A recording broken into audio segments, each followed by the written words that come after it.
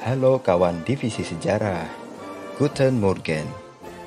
Selama Perang Dunia Kedua, Angkatan Laut Jerman atau Kriegsmarine bisa dibilang cukup lemah. Kekuatan Angkatan Laut sangatlah kecil dan tidak bisa menandingi Angkatan Laut Inggris. Kapal-kapal Jerman akhirnya menjadi sasaran empuk bagi kapal sekutu. Jerman tidak bisa menguasai pertempuran Atlantik dan menderita kerugian besar. Apa yang menyebabkan Angkatan Laut Jerman cukup lemah selama Perang Dunia Kedua? Oke, tanpa berlama-lama, mari kita mulai.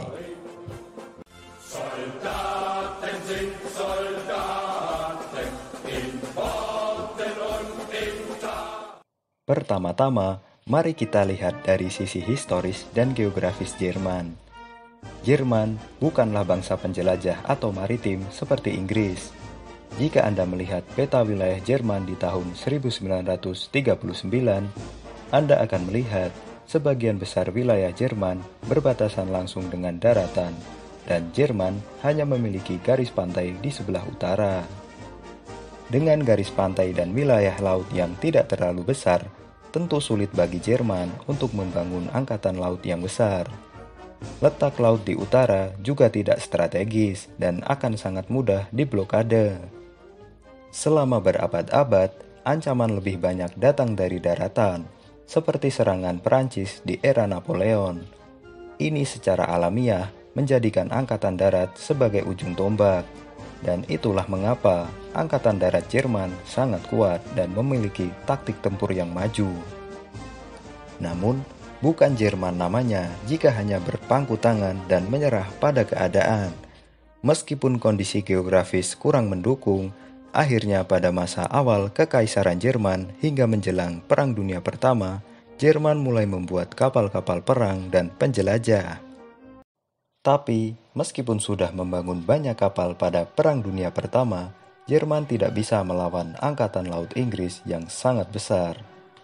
Jerman tidak bisa mengamankan jalur laut dan akhirnya Inggris memblokade Jerman melalui laut. Blokade Inggris ini sangat merugikan Jerman selama Perang Dunia Pertama.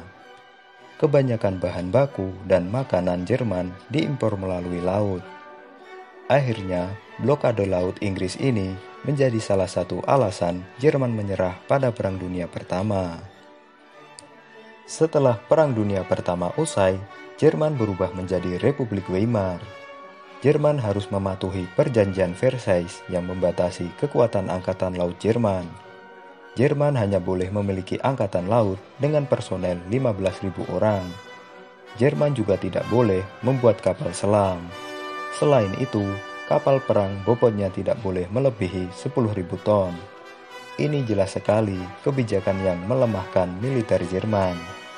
Meskipun Inggris dan sekutunya menang dalam pertempuran laut, di sini bisa kita lihat bahwa Inggris sebenarnya terancam dengan kekuatan laut Jerman selama Perang Dunia Pertama dan mencoba melemahkan Angkatan Laut Jerman. Perjanjian Versailles ini menghambat perkembangan Angkatan Laut Jerman selama masa Republik Weimar. Pemerintah Jerman tidak berani melanggar perjanjian Versailles yang jelas-jelas merugikan Jerman. Namun, semuanya berubah ketika Pak Kumis naik ke tampuk kekuasaan di tahun 1930-an. Ia melanggar ketentuan dalam perjanjian Versailles dan mulai membangun angkatan laut dengan membuat kapal-kapal perang dan kapal selam. Rezim Nazi sangat serius dalam membangun angkatan lautnya. Pada tahun 1939, dibuatlah Rencana Z atau Plan Z ini adalah proyek pembangunan angkatan laut yang bertujuan menyaingi angkatan laut Inggris. Tidak main-main, dalam rencana ini Jerman akan membuat 800 kapal yang direncanakan selesai pada tahun 1947. Termasuk di dalamnya kapal induk Jerman Graf Zeppelin. Namun, semuanya berubah ketika Perang Dunia Kedua pecah keberhasilan Angkatan Darat Jerman dalam invasi Polandia dan Prancis membuat Hitler semakin berambisi untuk menguasai daratan. Invasi ke timur Rusia pun dimulai. Kebijakan invasi ke timur ini membuat sumber daya yang tersedia diprioritaskan untuk angkatan darat. Karena kebijakan invasi ke Rusia, akhirnya Angkatan Laut Jerman seolah dinomor duakan.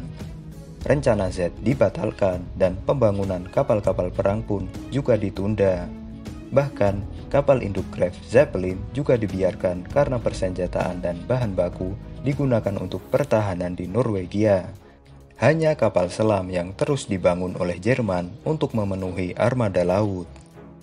Jadi, bisa disimpulkan saat pecah Perang Dunia Kedua, Angkatan Laut Jerman belum siap dan hanya memiliki armada laut yang kecil dibandingkan dengan Inggris dan Perancis. Sumber daya yang dimiliki oleh Jerman sangat terbatas dan harus ada yang dikorbankan. Angkatan Laut Jerman dikorbankan demi ambisi Hitler untuk menguasai Rusia. Di awal perang, memang Angkatan Laut Jerman cukup ditakuti, terutama kapal selam U-boat yang memiliki kecepatan dan mematikan. Namun, keadaan mulai berubah ketika Angkatan Laut Jerman tidak bisa menguasai jalur Atlantik dan mulai mengalami kekalahan di laut ratusan kapal selam U-boat karam di Laut Atlantik, dan ini merupakan kerugian besar bagi Jerman. Sementara sekutu akhirnya mengetahui bagaimana cara melawan kapal selam U-boat. Kapal selam Jerman yang awalnya ditakuti, pada akhirnya hanya menjadi sasaran empuk bagi kapal-kapal sekutu.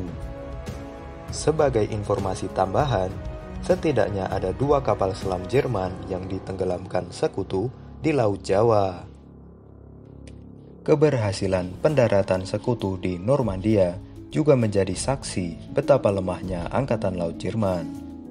Kapal-kapal sekutu dengan mudah mendaratkan ribuan tentaranya tanpa gangguan berarti dari Angkatan Laut Jerman. Jerman memang mengirim beberapa kapal untuk menghalangi pendaratan sekutu. Namun, semua serangan Jerman ini tidak begitu berdampak bagi sekutu. Malah, Jerman kembali kehilangan kapalnya di Normandia. Nah, jadi kesimpulannya, Angkatan Laut Jerman lemah karena terbatasnya sumber daya dan kebijakan politik Jerman yang memprioritaskan angkatan darat. Jika memiliki sumber daya melimpah dan invasi ke Rusia tidak dilakukan, pastinya Jerman akan mampu membuat kapal-kapal canggih dan menyaingi Angkatan Laut Inggris. Dengan armada laut yang kecil saja, Jerman mampu menenggelamkan puluhan kapal sekutu. Ini tentunya menunjukkan kualitas pelaut Jerman yang kompeten. Jerman tidak kekurangan sumber daya manusia yang berkualitas. Saat itu Jerman memiliki banyak ilmuwan dan insinyur yang kompeten. Jika saja rencana Z berhasil dilakukan, bukan tidak mungkin Jerman akan memiliki angkatan laut terkuat di dunia. Itulah tadi pembahasan dari kami mengenai lemahnya angkatan laut Jerman selama Perang Dunia Kedua. Semoga bermanfaat dan kesyun.